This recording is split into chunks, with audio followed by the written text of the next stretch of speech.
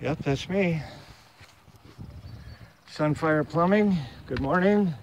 Here we are at the McEvoy Olive Ranch. Got a moon there.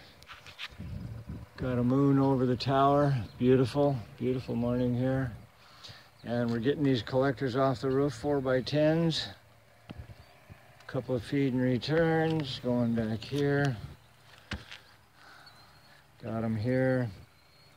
And then we got to be back tomorrow and put our stanchions on. They'll be in Thursday to rip off the roof. And then Friday they'll re-roof. And then the next week we can put them back on. So it'll be a three-day job to R&R these collectors.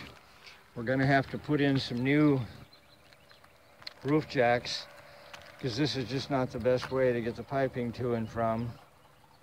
So we'll think about that.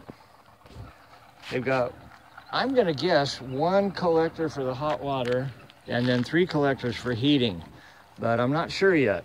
So we have to discover what that's all about.